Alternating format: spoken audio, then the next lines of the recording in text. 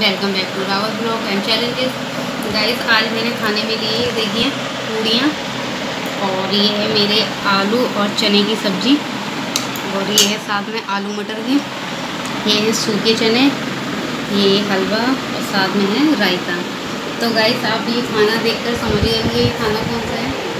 तो गाइस ये खाना जो कंजक होती है, वो ये खाना है, आज हमारे कंजक बैठे थे। तो उसी खाने का मैं करूँगी चैलेंज स्टार्ट करती हूँ है ना वन टू थ्री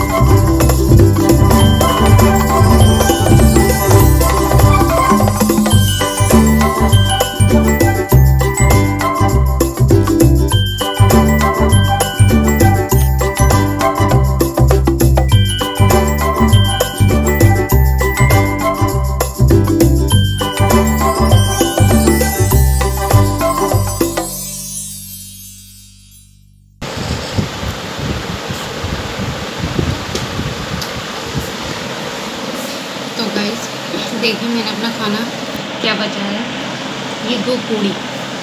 तो ये सब्ज़ी तो मैंने खाई भी नहीं शायद।